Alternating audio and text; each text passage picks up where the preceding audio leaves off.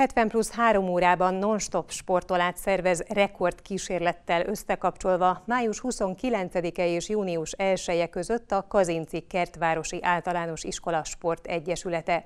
Az esemény számos sportprogramot kínál a jelentkezőknek 70 féle versenyszámban 73 órán keresztül. A Kazinci iskola tanulói és pedagógusai ezzel szeretnék még színesebbé tenni a Kazincbarcika 70. születésnapjára rendezett műsorok sokaságát. Amennyiben az ingyenes programot siker koronázza, akkor új rekordot állítanak fel a résztvevők.